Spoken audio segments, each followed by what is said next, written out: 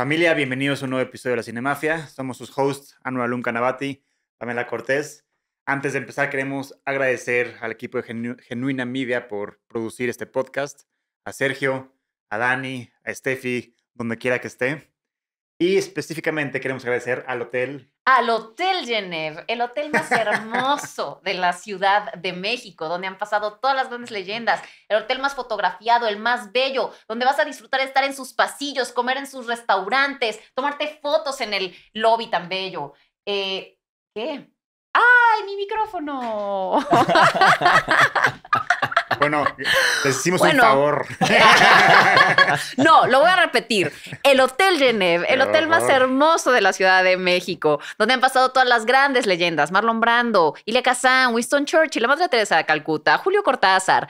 Todos han estado por aquí. Guillermo Calo fue la primera persona que le tomó una fotografía al hermosísimo Hotel Genève.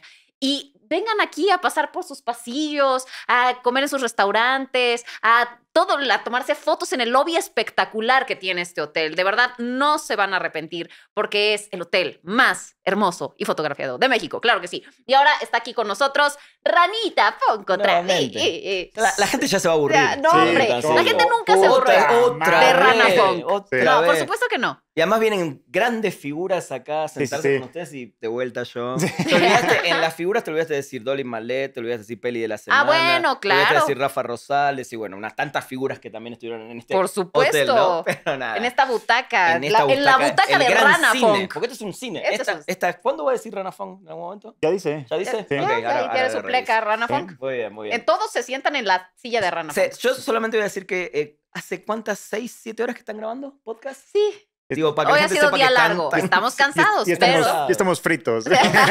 ¿no? a esas Y- alturas Y, lo otro, perdón, que quiero decir es que Anuar me llamó exactamente hace menos de una hora para decirme Es que real. venir a grabar de algo de no sé qué. Bueno, no, Ah, no, digo, gracias, no preparé Ranita. nada, pero acá estoy. eres el mejor. Ghostbuster. Así. Sí, sí. Who you gonna call? Rana Funk. Exacto. Siempre Justo. en los podcasts. Gracias, gracias por invitarme. Pero no, bueno, pero es un honor. Le mando un beso enorme a la persona que debería estar en este momento, que le dolía la panza, no decir quién es para no quemarlo, pero le mando un abrazo grande. pero bueno, Ah. hoy nuevamente un epi- episodio improvisado Improvisado. Episodio improvisado. En donde cada quien va a dar cinco películas. Tengo tres nada más por ahora. Pero bueno. De tres a cinco películas tres a Voy, cinco voy a intentar películas. pensar en otra mientras los Eh, escucho a ustedes ah, que nos gustaría que existieran, pero no existen. Oh, está bueno. El tema está buenísimo. Está bueno. De Vamos nada. a darle rienda suelta. Un día hubiera pensado más, pero bueno, seguro se me va a ocurrir algo más.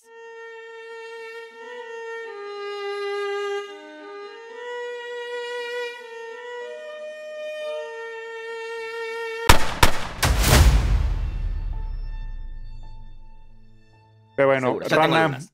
tú inauguras. No, inauguren ustedes que tienen más. Ok, No, tiene por sentido, no, tiene, tiene sentido. sentido. A Sí, ver, sí, tú sí. empiezas, Anuarcito.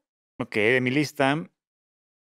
Pues mira, siendo cinéfilo de corazón yo, amante del cine, del séptimo arte, me sorprende que no haya una película tal cual, o minu- mínimo yo no conozco alguna película, biopic de los hermanos Lumière. O sea, cómo fue Oye, que, bueno, sí. de cómo, cómo, conoc- cómo inventaron el cinematógrafo, cómo fueron las primeras proyecciones y cómo crearon este pinche monstruo hermoso que se llama cine. ¿no? Claro. Ah, bueno. Ay, me encanta. Ah, bueno. Entonces, esa, esa sería una película que, me, que no entiendo por qué no existe. Hasta Sí. ya, ya hay una de George Méliès, bueno, Hugo, Que era la de Claro, Hugo. Hugo. Ajá. Claro, la de Scorsese. que habla. Que o sea, no es exactamente no, de George o sea, Méliès, sí, pero, pero ya George Méliès fue relevante en una sí, sí. película. En cambio, Claro, pero los- no es su historia, no los- es la historia no. de ellos. Exacto. pero los hermanos Lumière, no puede ser que no haya una película de eso. Sí, o sea, sí, sí, sí, sí, 100 sí. años de cine y a Totalmente nadie de se le ha ocurrido hacer una puta película a los que crearon el cine. Me Es- gusta. Es, ilógico. Seguramente debe haber alguna por ahí de Hallmark y de esas, ya sabes, Seguro. como de... No sé, es de- puede- bueno, sí o, puede o ser. un De docuficción donde te van contando y, y Sí, enseñan sí, escenas. No, sí. claro, claro. Pero no haber una seguro. ficción Sí, real. de que- de un Con actores de mamalones serio, de Hollywood, sí. así. No, o sea, no sé qué esperan. ¿Quién la debería ser? ¿Spielberg? Sí. sí. Ah, mm, No, no, sí. te la puse, te la dejé picando la- para que me digas que sí. Exacto. Sí, básicamente, sí, sí A ver, pero, O Damien Chazelle también lo pondría, o alguien así. a ver, pero ¿la harías? O sea, ya sé que quieres Spielberg, pero ¿no crees que sería mejor que fuera una película de producción francesa o ligada a Francia No, para es- que... no, yo- lo de Spielberg obviamente dije que sí, porque pues, no puedo decir que no. Por- Pero, Por el amor al cine. Lo pero claro que tiene que ser con franceses, Claro, claro, claro. y con un crew francés, con un director francés y con Denis. Denny. Denny. ¡oh! Tu nuevo, tu nuevo Steven. Spielberg. Que la haga Denny. Ya, ya di. Steven Spielberg, Sí. muy bien. Yo Está tengo- buena, me yo- gusta. Yo, tengo los derechos, se los voy a ceder a, Muy bien, a me, Denny. me gu- Claro. compro, compro. Me gustaría ver esa película, ¿eh? Bien. Bien, me gusta. ¿Pame? Eh, no, espérame, es que, es que Ah, quería, quería buscar. eh, No, pero es que justo esto quería buscar. Denis Villeneuve es canadiense, güey. Pero es, ah, sí, verdad. pero. No, es muy diferente francesa Sí, canadiense, sí, hijo nada Sí, pero, verdad, o sea, sí. bueno, si vas a agarrar a alguien de Hollywood, agarra a alguien que, Que, Por lo menos que hable el idioma. Que por lo menos tenga el apellido. que tiene la cultura. Y el idioma, sí, sí, sí. está muy bien, está muy bien. Me gusta. A ver, yo quisiera ver. A ver, pero Aldo, ¿a quién castearías? que no, Uh, no, A, no ubico al 100% físicamente cómo están los hermanos Lumière. O sea, Sí, no, ahorita no. todo- o sea, me acuerdo de su bigotito y no sé qué, pero no, me- o sea, no lo tengo tan fresco como para decir, puta, este güey le quedaría bien.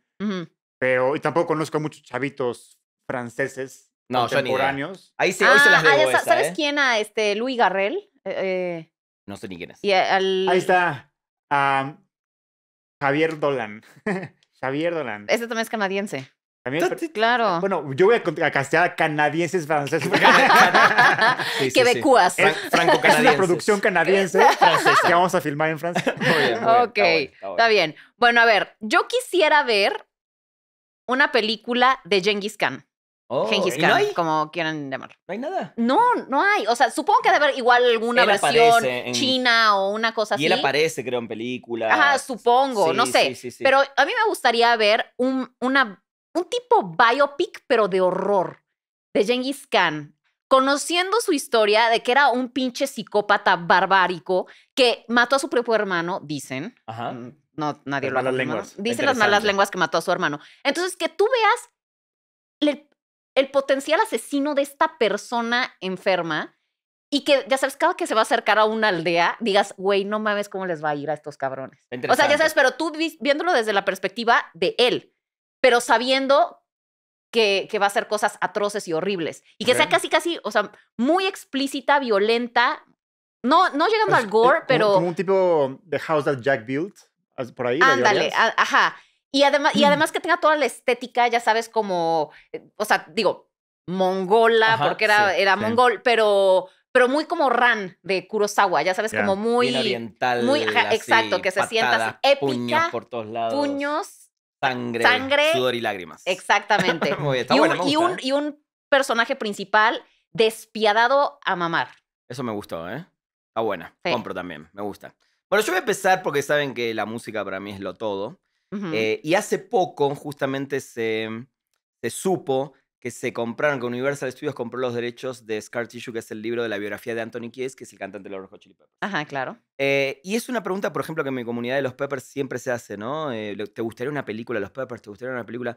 Y con todo el, esta cosa de saber que las biopics de músicos no siempre te van a dejar un buen sabor de boca porque te vas a decir, ah, Ah, pero ¿por qué no hicieron esto? claro. O, ¿por qué hice- ¿O por qué mostraron esto de una manera que no fue... Así todo a mí, las biopics de músicos me encantan, las disfruto, algunas están mejores, otras están peores, pero yo, todo lo que sea con músicos, historias de música en la pantalla grande me encanta, sobre todo ver el de dónde vienen, el por qué, etc. Entonces, la verdad que Scar Tissue es un gran libro, se lo recomiendo, eh, más allá de que si les puede gustar o no Red Hot Chili Peppers, porque es la historia de un tipo que salió... em, Yo no sé muy bien la historia de Anthony. Anthony Kiedis. Kiedis, bueno, empezó en Hollywood porque el papá era como un actor de reparto y lo metió en Mm. Hollywood, lo metió en las drogas y lo metió de alguna manera muy de joven con mujeres. Y la realidad es que su vida es eso, ¿no? Sexo, drogas y rock and roll, hasta un momento donde obviamente se tuvo que limpiar, porque si no, obviamente ya se nos hubiera ido. Y en esa historia cuenta muy bien sus inicios con la banda, sus inicios con las drogas, con las mujeres, su promiscuidad, etc. Y va contando Mm. cosas de lo que le iba pasando. Pero es una vida muy trágica hasta cierto momento, ¿no? Por más que el éxito y la fama y no sé qué, es una vida bastante trágica. Y me terminó de convencer cuando compraron, la- eh, Universal compró este- esta biografía, digamos, los derechos, de querer ver una película de, de- de Anthony Kiedis. Ya te ¿no? emocionó. Sí, claramente, claramente. Eh, so- yo soy muy fan de los documentales, pero cuando se trata de músicos, dame documental y dame biopics, Yo acabo de ver ¿no? un documental de los Red Hot Chili Peppers. El de ah, Fanatic by Choice, dice que lo, lo hizo un argentino. hace un Exacto, años, sí, ¿no? sí. Muy bien, lo recomendamos, ¿no? Sí, ¿sí? Sobre los fans de la banda. Pero bueno, esa es la primera que sí. No es que al comprar los derechos ya se sabe que se va a hacer la película, pero bueno, hay una Claro. chance grande y creo que es una que sí me gustaría ver. ¿Tienes idea de a quién te gustaría ver en el papel de Anthony No, hay un actor que me pasaron, no me acuerdo ahora el nombre, y se ve muy parecido. Está un poquito más flaquito, o sea, creo Ajá. que le tendría que meter mucho músculo y todo. Eh, mira, no me acuerdo su nombre, ya lo voy a, lo voy a encontrar y de última lo voy a dejar en, el- en los Ajá. comentarios del chat. Pero hay uno que sí se parece bastante realmente. a Anthony Kiedis tenía la cabellera más envidiable que he Uf, visto Sí, en mi vida. En los noventas con su pelo largo, Qué impresionante. cosa. Así que esa es la primera que. Muy bien. La primera Predecible, predecible. Predecible, pero bueno. Me- me, diste pero- media pero- hora pero- para pero- llegar Y- manejando. Y Ron así bueno, todo tapizado de Red Hot Chili Obviamente, Peppers. obviamente, ¿no? Pero Ahora- ¿te gustaría que también se centrara en los otros No, miembros de la en banda? su vida. Solo en él. Digo, los otros van a aparecer aparecen, porque son ajá. parte Es como de la su de vida. Bohemian Rhapsody. Bueno, no, por- eh, ojalá no termine como No, Bohemian Rhapsody. Claramente, claramente. pero- sí, sí. Pero Pero bueno, que se centre en la figura de él. esa es su Ok, figura, perfecto. Sí, es en sus andanzas, Ok. digamos, ¿no? Sí, sí. Bueno, yo como orgullosamente mexicano, hay una historia que, que me encanta. Más que historia, más que un hecho histórico, es como una leyenda, porque no, no, no está confirmado. Sea, sí, sí, sí pasó este evento, nada más los personajes que se involucraron, a lo mejor y le echaron mucha salsa a los tacos, ¿no? Eh, la historia de los niños héroes. Ah, ¿Qué Se me- son?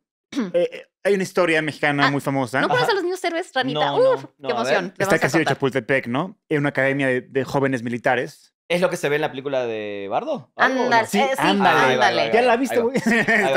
Bueno, esa es la idea. Entonces, los norteamericanos atacaron el ca- el castillo de Chapultepec, no estaba la, la- la milicia, nada más estaban los estudiantes, y los estudiantes defendían el castillo en contra de la amenaza enemiga y los mataron a todos. Uno, se llama Juan Escutia, agarró la bandera, se la amarró y brincó de lo alto del castillo Guau, con tal de que los gringos no capturaran la, La bandera. La el orgullo mexicano. Sí. sí. Entonces, Es una leyenda. La verdad es que Es- dicen es que nada de leyenda. eso pasó así. Sí. Pero Ok, ok, pero, yo me pero- encantaría ver una película de eso de. Imagínate ver una hermandad en el castillo y cómo van creciendo juntos así. Y que luego ver lo desgarrador que llega un ejército y esta hermandad que tú viste construida a lo largo de la película se va desmoronando porque vas, van matando uno a uno. se va desmoronando, pero se va fortaleciendo Sí. en esos Y, momentos. y ahora que decís que es más basado en una leyenda, sí te gustaría como que sea una película que sí, digamos, muestre lo que realmente pasó, pero mezclado con algo de ficción, Sí, no, con o- algo de obviamente- fantasía, O más de idealista. Puede algo. ser que Ajá. se Sí. conserve el sueño de lo que algo. creemos Dicen que. las malas lenguas que el, mismo gobierno, no sé, no sé si era el gobierno, alguien, de- eh, no sé si de la milicia, del gobierno, dijo que nada más quería poner a los héroes, que- a, a nada más a, a gente que tenga nombre europeo o español. Mira. Entonces, a lo mejor Juan Escutia fue un imbécil que se murió en la primera línea del fuego. Sí, No sí, dicen sí. que Chance se tropezó y agarró la No, no, bandera se porque cayó. se pudo A- agarrar a, lo que me refiero, a lo Sí. que me refiero es que a lo mejor Juan Escutia fue un güey que murió en el segundo número uno de la guerra Claro. pero como tiene un nombre europeo y apellido mejor. europeo, agarraron su placa y dijeron, este fue el que se aventó por la bandera. A lo mejor fue Tenoch, quién sabe qué verga, Sí, sí, sí, sí, pero sí. como el gobierno pidió que fueran apellidos eh, europeos, Qué loco eso. Agarraron a lo mejor seis random que no tuvieron ni siquiera nada que ver, güey. Ahora te hago una pregunta, Sí. Anuar, a ver qué opina Pame. ¿No debería ser tu próxima película esa como director? Necesito mucho dinero, mucho dinero. Bueno, Sí, claro, sí sería como una épica, si no, no te ser, queda par de años, mucho, quizás. mucho cuando La- te vaya bien con tus primeras películas, esa puede ser una que te gustaría Lo hacer. estoy mencionando porque la quiero, me encantaría hacerla, No le quemen la idea, por favor. Y ¿eh? aparte, justo, al, o sea, me- al igual que Spielberg, de ahí lo saqué, obviamente, me gusta contar historias a través de los ojos de alguien joven. Claro. Esta película se alinea muy cabrón con mi tipo de cine. Me encanta. Sí, Muy bien. buena, ¿eh? Muy bien. sí. ¿Y se Debería llamaría ser Los como- Niños Héroes, por ejemplo? ¿Eh? ¿Los Niños Héroes se tendría que llamar o...? No sé, ten- eso tendría que Ok. ver el guion, para dónde lo llevo y así, y ya en base al- el guion me va a decir cómo, tiene- cómo se tiene que llamar. Miren, ya, me, ya dijo que la va a hacer, ¿eh? Debería ser Netflix, como. Ayúdame. Suelten el varo, ándele. Netflix, suelta el varo. Sí, sí, sí. Sí. Muy bien. Eh, no, debería ser como de los supercampeones, de que pasa todo eso, pero al final el niño se despierta y no tiene piernas o algo así. Qué bajón. Qué bajón. Pero bueno. Muy bien. Ah, Ok, em, yo tengo por aquí mi segunda propuesta. Estamos pichando proyectos, ¿eh? Epa, epa, a ver, epa, Aquí. Netflix está Ah, por plagiando. favor, ver qué Sí, anoten, Sí, sí, y- sí. pero nos lo dan a nosotros para que claro, los claro, hagamos, claro. por favor. Muy bien. A ver, yo había escuchado el rumor de que esta película probablemente se iba a hacer, pero como que veo muy lento a Hollywood y no, ¿Cuál? no está, no, no veo claro, no veo claro. La película de Rasputín y de todo lo que pasó con los, con el, el zar Alejandro. Estás en parece- épocas ¿no? Medievales. exacto. No, pero además ver a la Rusia imperial así Increíble. chingona y cómo se cae a pedazos. Eso es básicamente lo que pasa en la película de Anastasia, pues. Pero, pero pero seria y centrándote en la figura de Rasputín y cómo sedujo al, a la corte eh, rusa de la época y con su medicina y sus ah, que decían que era como mago y ayudaba al niño, que tenía hemofilia, el hijo de la reina, se la ganó, decían que era el amante de la Ajá. reina.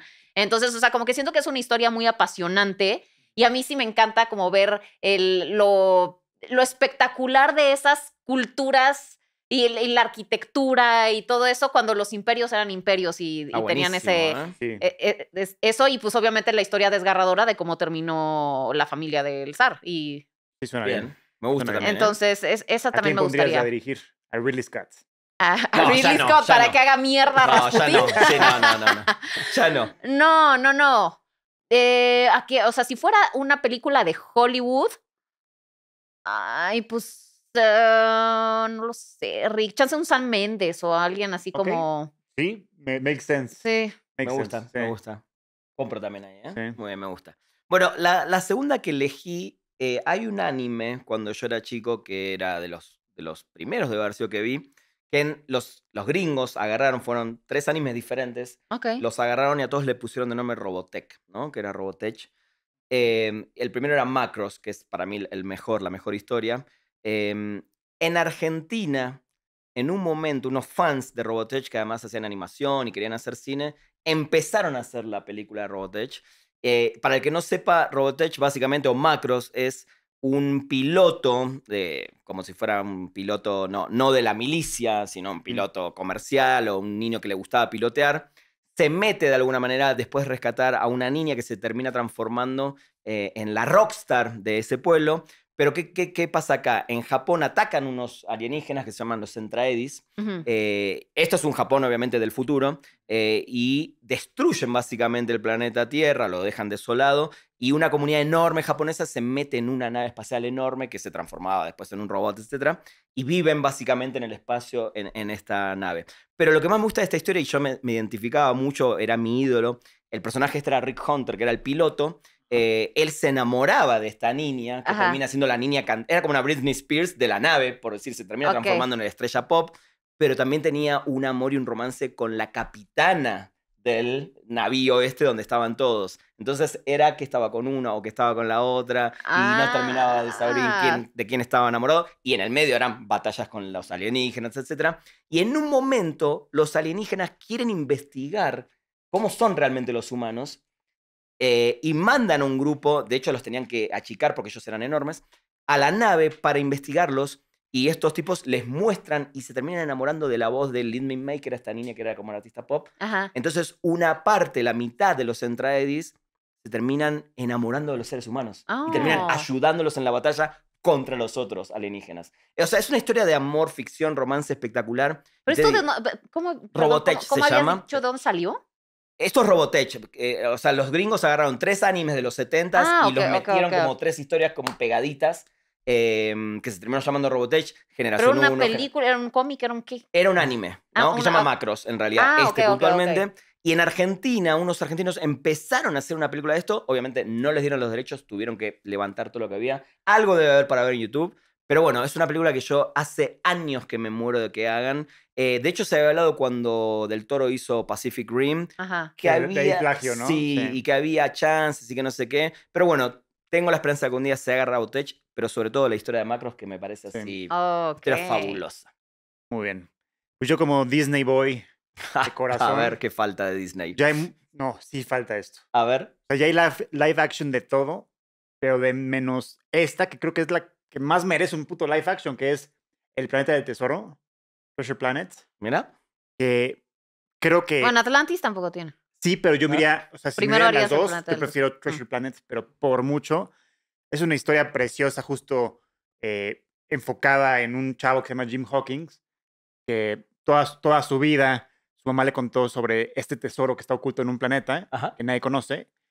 Este, y un día, su mamá tiene un restaurante y un pirata cae ahí y le da al niño guardar una, una esfera, un mapa, antes de, o sea, y luego llegan los malos, matan a este güey y el, y el niño y la mamá huyen. Entonces el restaurante se quema y el niño tiene que emprender esta aventura para encontrar el Treasure Planet para tener dinero para pagarle a su mamá, a su mamá el restaurante de regreso y que puedan tener otra vez estabilidad, ¿no? Y a la vez su cumplir su sueño de ser el güey que encontró el, el Treasure Planet, ¿no? Y, eh, o sea, es, es como si mezclaras Star Wars con Piratas del Caribe. Ándale. Son, son- son barcos, pero en el espacio, Claro, pero claro. o sea, rompen con la ley de la física, obviamente, porque sí pueden respirar en el espacio y todo, pero es- está increíble porque hay batallas en el espacio entre, entre, entre barcos, pero en el espacio. en el espacio, y luego, en vez de ser una tormenta, es un hoyo negro. Entonces, visualmente podría ser una pinche genialidad esa Sí. película. Y es una película que, como le fue mal en taquilla, la original, Disney se deshizo de ella. Entonces, de todos sus live actions, esta es la, la que valdría la pena hacer hoy en día porque es una película que para ellos no funcionó la original. Pues ahora traigamos la live action a ver si de casualidad O sea, la original era eh, animada. animada, preciosa. Eh, es Joseph Gordon-Levitt el protagonista. Ah, mira. Tiene para mí una de las mejores canciones de Disney, que es de Alex Ubago, que se llama Sigo aquí. Es una película infravalorada a mamar de Disney. Y creo que si hacen un live action la pueden volar del parque a nivel no solamente narrativo, sino a ni- a nivel audiovisual. O sea, podría ser un, un, un Star Wars, un... Ajá. O sea, ¿Y da para trilogía y así? No. o? Ah, solo una. Solo una. Es que ahí está el tema. Yo no Sí. creo que. Disney invierta en algo que. Ah, hacemos una y ya, ¿no? Con todo lo que. No, pero ves el que están que rehaciendo, pero están rehaciendo todas Sí. las películas animadas en live action. Sí, Entonces, tal eso vez es por ahí, verdad. tal vez no es parte de una A ninguna les trilogía. fue bien, pero, pero sí. no es una parte de una trilogía, pero sí es parte de esta saga que Sí, quieren de de ellos. renovaciones. Sí, sí, sí, es Eh, verdad. no, y, ser, lo, ¿eh? y lo que sí dices que va muy a favor de ella es que, o sea, las expectativas, o sea, es una película que no tuvo el éxito que... Claro, no debería sabes, tener grandes expectativas. Exactamente, o sea, no es como que están compitiendo con esta leyenda que es la sirenita El Rey o León, el- no. la bella y la bestia y que llegarle al- a la película animada es complicado. Sí. Y como no le fue bien, todo es ganancia. O sea, si la hacen tantito mejor, Claro, o ya sea, puede funcionar muy bien. Estoy de Exactamente. acuerdo, de acuerdo. No, ya, tengo el, cl- al A ver, cast ¿cuál sería el cast? clarísimo. Jim Hawkins, ¿vieron Cobra Kai? Sí. Eh, no. Pero, ¿pero quién? De Cobra Eh, Kai. el hijo de Johnny, ¿cómo se llamaba? Este. Sí. Eh, Tori- no, Tori la niña, este. ah, em, mierda. Pero no, pero el, el hijo. El hijo de Johnny, el que es rebeldón. Pero que ni aparece. Ah, el de Johnny, sí. El rubiecito de ojitos claros. Ajá, o sea, Ah, no sé el nombre. No sé el nombre para nada. Bueno, pero ya sé quién es. él es per- sería perfecto para Mira ser vos. Hawkins. Muy bien. Luego, dentro. Este. ¿Quién más? ¿Qué más había puesto? Bueno, tenía claro a Jim Hawkins. El, La- el que la- va- el- el importante. La Jenna Ortega podría ser la de la boinita. Ya te- ya Es que yo tenía- no la vi la animada, entonces no sabría qué La chava de la boinita, la, la que es como la mecánica. Ese es de Atlantis, mi estimada. Ay, neta. te Ah, no, entonces estoy confundida. Sí, no. No, es del planeta del Tesoro. No, es de Atlantis. Ah, La de la ¿neta? boina es de Atlantis. Ah, Sí, no, entonces estoy confundida. Sí, Sí, la- Jim- esas dos siempre se me mezclan. sí, Jim Hawkins. Es que. Ah, la del planeta del tesoro es de la chava buenísima. Sí. Ok. Ah, ¿Quién sería a la ella chava? podría a Rebecca Ferguson, por ejemplo. Ay, pero no, ya está muy grande Rebecca Ferguson. Ella está para- grande. O sea, es una señora. No, no es La, cierto. la capitana es una señora. No, la, la, la, la de pelo blanco. Esa es de Atlantis, mi ¡Oh, estimada. la madre! Atlantis. Esa es Kira. Entonces, ¿cuál es Atlantis. la del planeta del tesoro? Estoy perdida. Eh, la del niño. La, ya la Te contó toda la película, claro.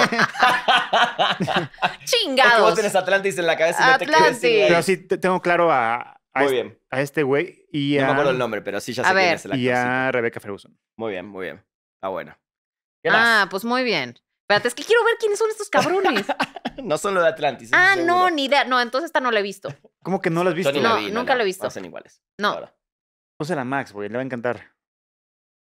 De una. Debe estar en Disney Plus, me imagino, ¿no? sí, ahora. sí, sí. Muy No, bien. entonces no, no, esta nunca la vi. Muy bien. Oye, hablando que estabas diciendo eso, ¿sabes qué? La el camino hacia el dorado también estaría cagada que la hicieran. Sí. Porque esa también como que pasó muy por debajo Y del Diego radar y Luna está hubiera sido perfecto para. Tulio y. Miguel. Sí, Miguel y Tulio. Sí. este, a ver, no, rápido nada más quería decir, para la de Rasputín estaban diciendo que iba a ser Leonardo DiCaprio. También por O eso. sea, sí, ya ¿Ah, está sí? la Sí, de es que ya estaba, ya estaba muy Ah, ejecutada, como en, Muy en desarrollo. Entonces, por eso, nada más se me había olvidado ese dato, para Muy que bien, lo tengan. bien. Ok, hay una película que es una de mis películas favoritas de toda la historia y que tuvo un rodaje muy Ah, complejo, accidentado, Sí. complicado, eh, difícil, lleno de, de adversidades. Yo que sé de qué es está hablando. Es la de Werner Herzog, ¿no? Fitzcarraldo, efectivamente. Entonces, existe el documental que se llama Burden of Dreams de cómo se hizo Ujú. Fitzcarraldo, porque además no sé si tengan el dato, pero la película de Fitzcarraldo se trata de un cabrón que, bueno, o sea, pasan muchas cosas, que quiere llevar una ópera a un eh, pueblito que se llama Iquitos en Perú, pero bueno, el punto es que para lograrlo en algún momento tiene que pasar un barco por encima de una montaña. Pues eso lo hicieron en la vida real. O sea, Herzog y su equipo de producción pasaron de verdad el barco por arriba de la montaña. Entonces fue como toda una hazaña en la que la, eh, la realidad superó a la ficción. O, bueno, más bien la imitó, porque sí lo hicieron.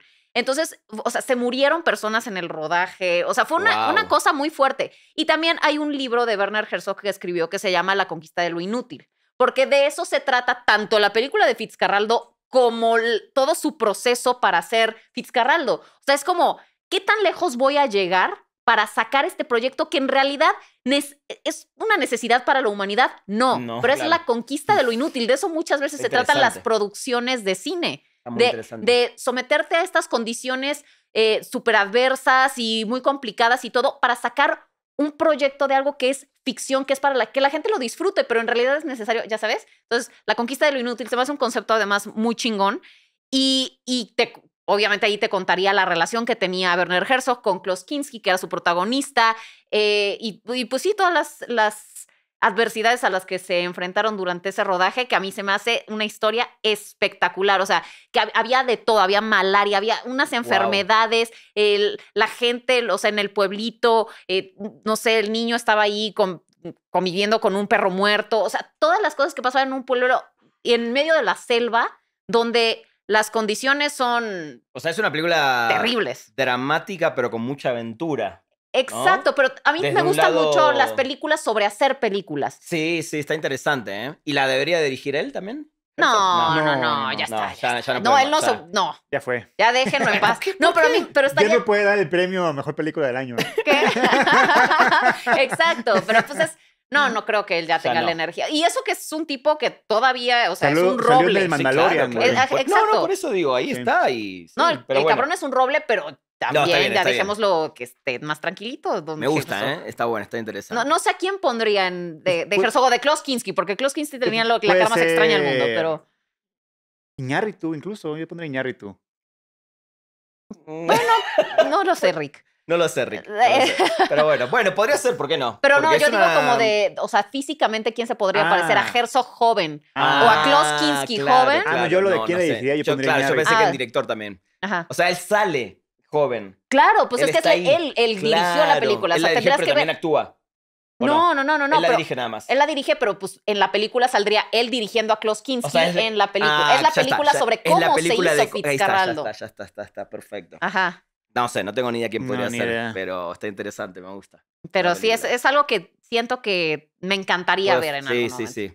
Eh, un Terry Gilliam podría dirigirla o algo así, Ah. que, maneja muy bien la aventura con los Es que, es que me gusta mucho Terry Gilliam, pero no confío en, en la ejecución a fin de sus proyectos. Porque ha ¿De dejado, ninguno o qué? ha dejado, no, o sea, obviamente sí tiene, pero ha dejado varios inconclusos y no soportaría que este se quedara inconcluso. No, bueno, pero no, claro, pero si te aseguras Sí, que él, creo que es un director que para ese tipo de historias rebuscadas de no Sí, sé, sí, sí, no me gusta. ¿eh? Podría ser. Paul Muy- Thomas muy. Anderson. Ándale, ándale. Mm, No sé, yo lo Ay, veo sí como gusta muy mucho. Si ves- dramático para Si ese ves tipo There Will de- Be Blood No, como, bueno, re- sí, como no. referencia para esto, creo que le quedaría perfecto. Pero no sé si mm, pero tal vez alguien que se rife estar más en la aventura. y- Exacto, por eso, por eso me suena más. un- BTS te la saca sin peros. Pues puede ser. No, no digo que no, es un tremendo director, ¿no? Pero bueno, eh, como tuve tan poco tiempo, pero se me acaba de ocurrir otra que la voy a decir después, en base a algo que dijo Anwar. La otra que eh, yo llevaría a todo el mundo la música, al cine, que les digo. Claro. Hay un momento puntual que además tiene que ver con, con mi adolescencia y siento que es como el último momento de la gran revolución del rock y tiene que ver con el aniversario ahora de, de Cobain que, que pasaron 30 años de su Oye, fallecimiento. la historia de Cobain, ¿qué pedo? La historia de Cobain, a ver, la voy a meter en esta historia porque tiene mucho que ver. Hay una película que sí recomiendo, no es la historia de Cobain, pero son los últimos días, justamente la película se llama The Last Days, es eh, de Gus Van Sant, una película independiente, que supuestamente le está retratando los últimos días de Kurt Cobain. Nunca dice que es Kurt Cobain, nunca dice Ah. nada, pero la recomiendo, está muy bien, es una película muy contemplativa, muy independiente, casi no hay Muy Gus diálogo, Van Gus Van muy. Gus Van Sant de los noventas, eh, y la recomiendo mucho. No hay una película puntual, pero a mí no, sé, a mí no me gustaría una película de Kurt Cobain porque siento que sin... A ver, lo, lo quiero hacer de la mejor manera. Siento que se le podría faltar mucho el respeto en muchas cosas. Ok. Pero sí me gusta la historia de cómo estas bandas de Seattle, obviamente con Cobain a la cabeza, en los 90, hicieron una revolución musical en todo sentido. Volvieron a poner al rock en, boca de todo el mundo, eh, reventaron la MTV, reventaron las, ventas de entradas y eran, eran 5, 6, 7 bandas de Seattle, que era una ciudad a la que nunca se le había prestado atención. Y a partir de ahí hubo una revolución tan grande y cambió tanto la industria de la música que los sellos discográficos necesitaban y salieron a buscar Nirvanas, Pearl Jams, o sea, inventaban bandas, contrataban bandas, por- hubo firmas de contratos discográficos descomunales porque vieron que la gallina de los huevos de oro, que era el grunge, como se le Ajá. dijo, no al ser rock alternativo, era lo que básicamente dominaba en la industria y todos querían hacer dinero. Y, y es como el inicio y la caída. Cuando Cobain explota con todo esto y se termina suicidando, se empieza a morir todo este, este movimiento. Mm. Entonces, creo que una buena historia y un buen retrato de esa época para entender en dónde estaban los- la juventud en ese momento, por qué no se escuchaba rock, por qué esto fue una revolución y por qué estos ídolos presionados, ¿no? Como Cobain, eh, vivieron su fama de la manera más triste, vivieron su fama de la manera más horrorosa, porque ellos no buscaban eso. Sí buscaban vender discos, sí buscaban hacer shows y girar y todo, pero el tipo no aguantó todo eso como todos los que estaban alrededor. Algunos sobrevivieron, otros no. Entonces creo que esa podría ser una, una muy buena historia para contarla desde una película, ¿no? Más que de un documental. Me gusta. No tengo idea de actores, ni directores, ni nada, pero me gustaría que se haga. Ay, pero ¿no se te hace que el que salía en Across the Universe hubiera sido un gran Kurt Cobain? Podría ser, ¿eh? Podría se me ser. hacía podría ser. idéntico. Hay, hay muchos que podrían ser. Kurt 30 Cobain. minutes. Sí, sí, sí. Ah, ¿nos Bueno. quedan 30 minutos? Vamos, con una más. vamos A ver, echemos rápido las. Este, Dale, yo tengo una más, ¿eh? Ya Ok, se me ok. ocurrió una Yo más. tengo dos más, o sea, esta y otra. Vas. Rápido, este, hay muchas películas sobre él en sus últimos días, este, durante el proceso, pero no hay una película que cuente sus orígenes, que es, con todo respeto lo digo y sensibilidad, de Adolf Hitler. Ok. Wow. Ok, Porque sí, está interesante. Creo que hay mucha, o sea, yo que... La caída es de las que más nos muestran, la ¿no? caída. Sí, es una gran Eh, película. exacto. Y siempre vimos visto películas en medio y hasta el final. Pero también cuando voy a, mu- a museos del holocausto, siempre a los guías le preguntan lo mismo al guía y el guía no sabe contestar. Me acuerdo cuando fuimos hace poquito. Exacto. Sí, sí, sí. ¿Por sí, qué odia a los judíos Hitler? Sí, y, sí, y el- y el Sí, guía sí, sí. dice, sepa la verga. No, cabrón, pues hay que, hay que decirle a la gente. Sí, hay pues la que gente conoce hay la que figura. entender el porqué. Ahora to- hay que ¿no? entender Sí. ¿Cuál es el transformo, transform, Sí, eh, trasfondo del villano más grande de la historia de la Sí, humanidad? Sí, sí, me literalmente. parece Entonces, interesantísimo. verlo desde que era joven, literalmente, eh, porque es muy interesante, porque casi se la ahoga a la mamá. Fue la Primera Guerra Mundial como soldado, pero y mataron a- hubo un ataque hacia un escuadrón. Él estaba ahí, sobrevivieron 200. es y- como, sería como una película de la psicología de su vida. ¿no? Sí, Por o sea, decirlo así. Sí, de- del antihéroe, tipo ahorita la balada de los pájaros. No, pero antier, no, este es un Sí, no, este es pinche un- de monstruo. sí, sí, me refiero de- Pero entender por qué. De ese personaje que empieza como bueno y en ah, la bueno, y el- película y se el- trastorna y se llega a ser Anakin Skywalker, Ándale, eh, este, Paul Atreides, o sea, todo eso, ¿no? Obviamente, pero estamos hablando de algo muy sensible y, No, y claro, real. claro, Sí, claro. Pero no nació villano, o sea, Nadie es un niño villano, que, algo le pasó, que llegó a este odio hacia los judíos y hacia tal, tal y tal, y se convirtió en el En, en quién fue. en quién fue. Entonces estaría bueno que nos cuenten la historia desde que nació hasta que murió, cabrón. O por lo menos hasta que empezó a hacer el desmadre que hizo, ¿no? Porque el que, el Sí. que murió, eso ya lo vimos, como en la caída, y Va. vimos muchas cosas. Pero creo que es interesante. Si hasta la que- película se va a basar en eso. O hasta que arranque la- el nazismo, va. e- Exacto, Ujú. exacto. Porque también luego estuvo en la cárcel y escribió este libro que se llama Mi lucha. Ajá, O sea, hay demasiado contenido interesante. que estaría bueno compartírselo a la gente por cultura general. Está bueno. Eh, También dicen que siempre quiso ser artista y que pidió entrar a Exacto. una escuela de arte acá muy cabrona y que lo rechazaron y que Exacto, se quedó traumatizado. es, es- es muy Está interesante. Está sí. interesante. Bien. bien. Em, ok. Bueno, yo tengo otra que ya he mencionado, creo que en este podcast, que me interesaría que se hiciera, porque eh, pues vemos superhéroes por aquí y por allá, Ajá. pero hay un superhéroe mexicano que se llama Calimán, que era el, el superhéroe de una radio, bueno, no sé, salía en radio Calimán y también, también había cómics después. Pero, o sea, sí me gustaría como que le metieran varito a una producción mexicana sobre un superhéroe mexicano. Y además era chistoso porque era, o sea, la historia es mexicana, pero el tipo era como un árabe, o sea, tenía como, ya sabes, como un Sí. turbante y tenía a su, a secuaz y te- las cosas, las misiones pasaban como de pronto en el desierto y así. O sea, entiendo que es un poco apropiación cultural de parte de los mexicanos habernos robado a un- una figura que se ve muy de Medio Oriente o de India o no sé de Ajá. dónde pudo haber sido la inspiración estética de Calimán. Pero, pero estaría chingón, o sea, siento que estaría chingón y que eh, eh, sea una trilogía y que cumpla misiones y que esté así Ah, divertido. bueno, me gusta. Sí. Bueno, cuando, no sé qué dijiste al saludo, pero dije, y hace poquito tuvimos el especial de Tarantino. Ajá. Tarantino tiene una historia muy rica también, ¿no? Y- esto de un tipo que amaba el cine, entraba a todas las funciones de cine, trabajó en, en un- en una- en un videoclub, eh, hizo lo imposible para escribir sus películas, para que se las financien. Entonces, creo que una buena historia de Tarantino me parece muy interesante eh, desde el punto de vista también, ¿no? De, desde dónde puede surgir un amor, desde dónde el tipo nunca estudió, nunca hizo una carrera académica ni nada que se le parezca y todo fue de ver, ¿no? Sí. De ver, de prestar atención, de informarse.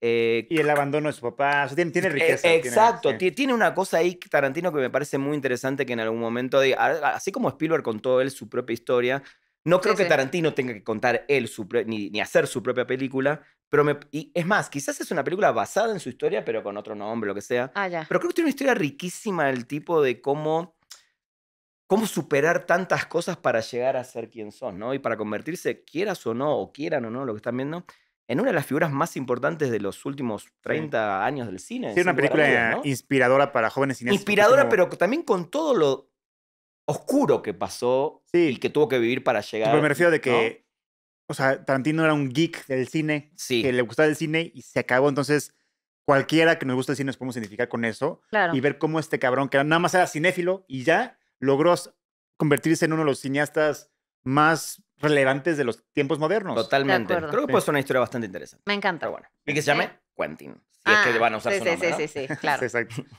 Y yo por último, yo que estoy muy, muy geek de cómics y así, Batman es mi superhéroe favorito. De la Basta de vida. películas de Batman. Corten acá. No, pero ahí te va. Basta. Ahí te va. ya. Justo, la han adaptado tantas veces que me encanta. O sea, Nolan me encanta, me encanta Matt Reeves. ¿Quién falta que dirija una de Batman? A ver. No, no, no, no es quién falta, es qué historia falta. ¿Cuál? Se llama Death in the Family. Ajá. Es un cómic. Purísimo, me imagino, con Sí. ese nombre. Es este Batman con, con, su, Rob- con su segundo Robin que se llama Jason Todd. Ajá. Eh, Que el, se le muere, ¿no? ahí está. El, el guasón les tiene una trampa, Así es. lo se- secuestra Jason Todd y lo tortura y lo tortura y lo tortura y lo tortura por meses y meses y meses. Pero no solamente físicamente, sino también Sería como la pasión de Batman. emocionalmente, Psicológicamente. psicológicamente. O sea, cosas asquerosas le hace a Robin Pobre Robin. y lo trastorna tanto que no, o sea, no lo mata. O sea, Jason Todd, a través de Ra's al Ghul y todo eso, revive con el único objetivo de vengarse de Batman. Entonces, Wow. vemos este arco de triste de cómo el alumno está resentido con el maestro por no haberlo salvado cuando estaba en la peor situación del mundo y cómo su resentimiento quiere hacer que, que mate a Batman. Entonces, Me encanta. esa adaptación de Jason Todd y de esta pelea alumno-maestro y llevarla a ese nivel oscuro donde vemos al pinche Joker torturando a- al Robin, se me O haría sea, es una película más de terror que de superhéroes. totalmente. ¿no? Ok. Más de, de Y tortura, Hoy que lo mencionamos, metería a Darren Aronofsky, porque Uf, este Sí, güey estaría chido. lleva buscando a Batman mucho tiempo. Ah, mira. Entonces, este pinche cómic con Darren, Estaría veríamos perro, una sí, suena- muy bien. Sí. Me gusta, Entonces, ¿eh? esa es la diferenciaría de Nolan y de Matt Reeves. Matt Reeves se fue oscuro, pero no pero no, tan pero, oscuro. No, no, claro. Y además él sigue siendo su centro Batman. Acá es 100% es Robin el Guasón. Jason Todd, sí. Sí, no, Ah, claro. ok. Me encanta, Oh, está me buena. Sí, buena. gusta. entonces, sí. Muy bien. O nada más como dato pasado, porque eh, de pronto se me olvidan las ideas y las retomo. ya había una película de Calimán hace tiempo, pero, Ok. eh, o sea, me refiero a un remake. Una pues. nueva, una Una nueva. nueva, una nueva. Bueno, ok, ¿qué- qué- bueno, ya. más? Mi Cerramos. última, para cerrar, la verdad es que a mí me encanta todo lo de la Grecia antigua. Y entonces siento que no hay una película sobre cómo los filósofos estaban en la Acrópolis dando sus No hay nada, nada. clases y sus, sus parábolas a la gente y todo. O sea, me encantaría. ah, No, pero no, no, no tanto como de bacanales griegos, no. No, o sea, quiero ver a los filósofos, quiero ver a, a Aristóteles y a Platón y a Sócrates. En, y podrías centrarte en la figura de Sócrates, que es la que tuvo la, pues, el destino más trágico. Ajá. Pero, eh, pero, pero sí, o sea, como todo este ambiente del conocimiento, cuando se estaban, des- bueno, cuando se estaban proponiendo todas estas ideas de la filosofía y demás, me encantaría verlo en pantalla grande. Está bueno eso, ¿no? ¿Y quién Sí. dirigiría ahí? Ay, pues no lo sé, Rick. Yorgos. Lanthimos. Yorgos Lanthimos. Oye, por sí. griego. Solo por Sí, griego. Porque es griego. Ese sí es griego. fíjate. es griego. Sí, sí, sí, sí. Warner, sé. Danos el varo, Warner. Hashtag. Todas las ideas que les tiramos, muchachos, en Sí, serio, sí, por sí. lo menos crédito. ¿no? Exacto. Porque si esas películas se, siguen se terminan haciendo, vamos a hacer ruido en redes sociales y vamos a mostrar lo que dijimos acá. Sí. Exacto. No, Vamos va- a decir, va a nos plagiaron. va a haber de- Exacto. Va a Habrá haber señales, a habrá demandas. señales. Muy bien, muy bien. Me gustó, me gustó este ejercicio. Hagamos uno dentro de seis meses y denme tiempo para pensar un poquito más porque me vine muy así, pero bueno, ya Es- sé, ya sé. estuvo bueno. Estuvo bueno, estuvo bueno. Me gustó, me gustó, me gustó. Pero bueno, Ranita, gracias No, por ustedes. haber acudido a nuestro Ha llamado, llamado, urgente. llamado. Levantaron el teléfono rojo, ¿no? De, de Exactamente. Batman, del comisionado Sí, sí, sí. Correcto. Muy pero, bien, muy pero bien. gracias por estar con nosotros una vez más. Como siempre, lo pasamos increíble contigo. Siempre. Y bueno, por allá, eh, pues ya saben lo que tienen que hacer. Comenten, compartan, suscríbanse. Recuerden que vamos Perdón, a y estar. que den sus ideas de qué Y que den- películas, ajá, ¿no? exacto. Y pongan sus ideas de qué películas les latería a ustedes que les dieran un chingo de varo para producir y historias que no se han contado todavía. Y recuerden que eh, Anuar y yo vamos a estar muy al pendiente de quienes comentan, de quienes son muy fans de la Cinemafia, porque en unos mesecillos vamos a escoger a uno de ustedes para que venga aquí a hacer su cinegrafía y queremos conocerlos. Entonces, por favor, participen. ¿Puedo y- venir a producir ese programa? Puedes ¿Eh? venir de Como público, güey. No, no, de productor. Quiero venir de Sí, productor. sí, sí, claro. Público. ¿Me siento ahí atrás? Ok, escucho. ok. No, claro que que me den la espalda a todos. Sí. Pero bueno, entonces, ya saben.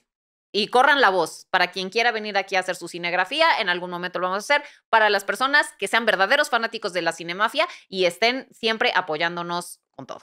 ¿Ok? Bueno, pues entonces nos vemos en el próximo episodio. Bye bye.